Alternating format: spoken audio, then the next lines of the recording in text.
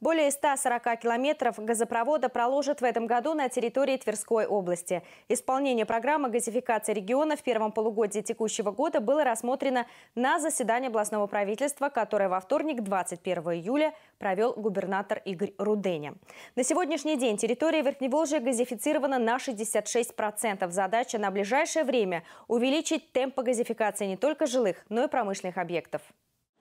Схему газификации Тверской области необходимо актуализировать, чтобы она носила комплексный характер. С этого заявления, открывая очередное заседание областного правительства, начал свое выступление глава региона Игорь Руденя. Как отметил губернатор, в настоящее время на территории Верхней Волжьи применяется несколько иной подход к газификации территорий. Кроме домовладений, активно газифицируются предприятия, инвестиционные площадки, социальные объекты. Ключевая задача для регионального правительства на ближайшее время – существенно увеличить темпы газификации не только жилого фонда, но и сформировать необходимые необходимые условия для развития новых инвестиционных проектов в Тверской области.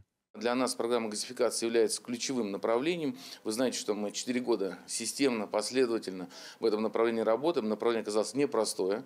И мы э, видим, что э, сегодня очень важно э, с «Газпромом» и в прямом и в переносном смысле синхронизироваться по планам и задачам газификации Тверской области. Как подчеркнул Игорь Руденя, в последние годы удалось обеспечить ежегодное увеличение уровня газификации Тверской области. Если в 2016 году он составлял 62%, то в 2019 – 64,4%, а по данным на 1 января 2020 года – 66,1%. По итогам 2020 года планируется повышение уровня газификации Верхней Волжи до 67,5%. Ожидается, что в текущем году газ придет в 20 населенных пунктов. Это почти полторы тысячи квартир и домовладений будет начата работа по газификации шести муниципальных образований, где газа не было. Особое внимание к северо-восточным и юго-западным территориям Верхневолжья. Это э, газификация в э, направлении, когда э, в район подводится магистральный газ, минимальная газораспределительная сеть уже готова. Дальше это будет возможность для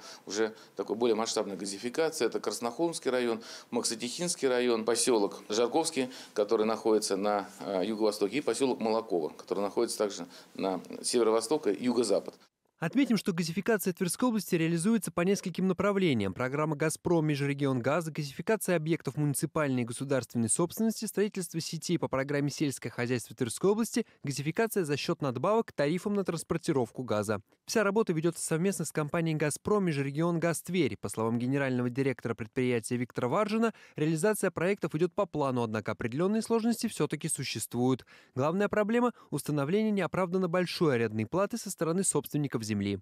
Собственник считает, что он может заключить договор аренды очень с большой суммой, то есть доходит до 300 тысяч за одну сотку.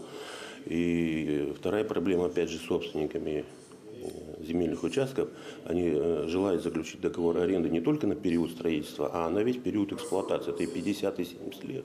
Тем не менее, серьезных затруднений в реализации программы газификации во второй половине текущего года быть не должно, отмечают в «Газпроме» Межрегионгаз. Из запланированных на ближайшие 4 года 155 километров газопровода 49,7 километра будут сданы в 2020 -м.